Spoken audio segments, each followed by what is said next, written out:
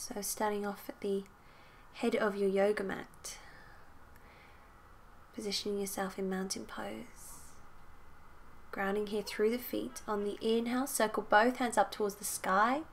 Exhale, forward fold from the hips, dropping all the way down into Uttanasana. Inhale, Ardha Uttanasana. Exhale, forward fold back down. And stepping back with that right foot. So into low lunge to start you off with here. Up onto the fingertips. Inhaling for Parsvottanasana variation, straightening out that front leg. Ground through the palms of the hands, lengthen the spine, straighten out the arms. Really press down through the big toes here and open up. Left hand coming up towards the sky for Revolve Trikonasana variation. Really open up the body out towards the side and gaze out towards the side or up towards the sky. Exhaling as the hands come down. Pivot the back heel. Warrior one. Lifting up. So I've got my hands in prayer position. You can have your hands apart if you want to, shoulder width.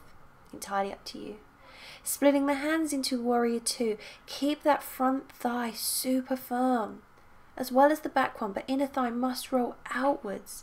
Now interlacing the fingers, coming all the way down into forward fold just by the inside of that front thigh. Take the arms overhead and relax the head all the way down. Inhaling as you lift all the way up, coming in for another round, dropping all the way down. Breathe all the way through these. You can close your eyes if this helps if you feel a little bit lightheaded. And one more time. Exhaling down, taking those arms as far as you can overhead, drop the head down. Inhaling as you lift all the way up. Nice shoulder opener there. Okay, so from warrior two, coming into side angle pose. You've got left palm by the inside of left foot, right hand coming up towards the sky. Taking that half bind, so it's either just the right arm that wraps around the waist or you can take the full bind left shoulder moving down by the inside of left thigh, grabbing onto those fingertips or wrists. So you're setting yourself up and the hips here for lizard lunge. Position that left palm by the outer edge of that left foot and pivot so you're on the back toes. Coming down onto the knee, playing around there, seeing if we can get a little bit lower. And then seeing if we can get that right elbow down onto the floor. Maybe the left arm wants to hug onto the left leg if things are feeling particularly tight already. Or you can play around with both elbows meeting the earth just underneath the shoulders. Focus on your alignment as well. Take it nice and slow. So tucking the toes underneath, back knee and thigh lifting up off the floor. Now the thighs must re remain firm. Hug the core in and up off the ground. Push into that back heel so not all the weight should be just on the arms or that front leg. And you can drop that back knee down any point in time or you can stay with the knee lifted. Do what works for you. I'm dropping the head down. You don't want to be looking upwards when you're in lizard lunges, by the way. So to come out of that nice and slowly, just release, push back into a plank position. Chaturanga, coming forwards into cobra or upward facing dog. twisting. So as you twist, gazing over the left shoulder, on the exhale, change it over towards the other side. Inhaling as you lift the body all the way up. Exhaling, bend and soften through the elbows. And one more time over onto the right when you're ready, dropping all the way down, exhaling towards the back, twisting. Come all the way up. Hug that core in as you come into downward facing dog. And spread the fingertips out nice and wide. Right leg lifting up into downward dog split. Take that leg forwards, coming into low lunge. So right knee should just be above the right ankle. Up onto the fingertips, inhale, Pass for Parsvottanasana variation. I'm straightening out the front leg, dropping my body, my torso over this front leg. Super intense stretch. You can bend and soften the front knee if you want to, if you're working injured here. Inhaling as you lift all the way up halfway and then coming into that revolve trikonasana variation. So left palm down, right hand up towards the sky. Twist again here from the waist. Good. Open up. Dropping all the way down. And slowly bend into that front knee, looking forward. So pivot the back heel down, press into the little toes at the back, warrior one. So shoulders facing the front here. Bend into that front knee, making those little adjustments on yourself. Opening up the hips, the shoulders. Warrior two. Same hand, same leg forward. So that would be on your right hand side, that is. Inner thigh rolling outwards. Let's open up these shoulders. Open up the chest. Interlace, dropping all the way down, forward fold. Take those arms as far as you can over the head. And again, inhaling, tracing those fingertips down the buttocks. Exhaling, coming into that forward fold. You've got one more of these.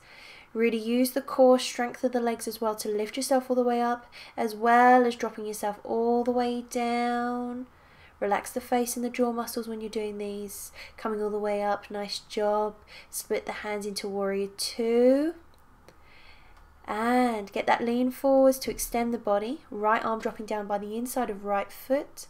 And find that imaginary back wall behind you as your inside angle pose. So you've got the left arm binding round the waist catching onto the thigh or full bind elbow sorry elbow threading through there catching onto the fingertips or the wrists roll the chest and heart open keep the legs super strong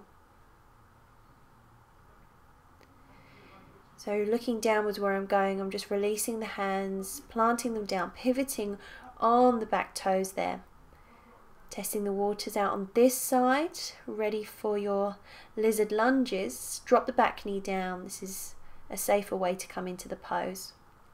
So getting as much length as I can, step by step, left elbow touching the earth first, right arm hugging over that right leg. And you can pause it right here if you want to. You can just stay in that position, or if you want to, both elbows can come down onto the floor. You can interlace the fingers. Make sure that you press down, not just through the elbows, but through the forearms as well. And you can take the back knee and thigh up off the floor whenever you're ready, dropping the head down. You don't want to be looking forwards or upwards in this, that will aggravate the neck. Push into the back heel. And I said that earlier so that you're not, you know, relying on the front part of your body to be taking all this weight. Some of the weight needs to be at the back too. Drop back knee and thigh down. Lift all the way up and step back. So we're in plank here. Firm the thighs. Hug the front ribs inwards, but hug the sides of the waist. Chaturanga down, push from the toes, lifting your heart coming up into cobra or upward facing dog. And lift, downward facing dog, buttocks high. I know the body might be a little bit achy. Try to get the shoulders rolling away from the ears and jumping or stepping forwards. And we're here in Uttanasana forward fold. Please balance out the legs so the feet are parallel. Lift the buttocks high, dropping the whole body down. Inhale, lifting up, Ardha Uttanasana. Exhaling, forward fold. Take those shoulders away from the ears. And when you're ready, coming up into thunderbolt. So as you bend the knees, deep squat, sort of bend here from the hips, but also sink into them as well, sinking into the heels. You can reach the arms forwards or upwards, um, depending on what feels good for your lower spine. So we're coming into pigeon variation of thunderbolt. I'm positioning the right ankle just on top of my left thigh. Soften here through the hips this might be enough of a balance as it is. Bend through that standing leg. If you're leaning forwards just like I did, make sure you keep the spine super long. Seeing if the fingertips want to touch the earth. If they do, begin to straighten out that standing leg slowly. Take it all step by step. Palms find their way down just underneath the shoulders for support and finally drop the head. This is quite intense, so you can stay in Thunderbolt if you wish, or you can stay in Pigeon Thunderbolt, entirely up to you. And I'm reversing the steps, slowly but surely lifting myself all the way up, using that core strength, bending through that standing leg. Release, inhale, lift up back into Thunderbolt, ready to take on the other side. So I ground through my feet. Your base is so important, especially on these standing poses. Without them, you can forget the rest. So find that balance. Smile, relax that face, you're doing yoga. And left ankle on top of that thigh. So release here through the hips, leaning forwards, seeing if the fingertips want to touch the floor. Straightening out that standing leg. So you can probably feel it all in the hips and in the glutes. I'm forward folding down now.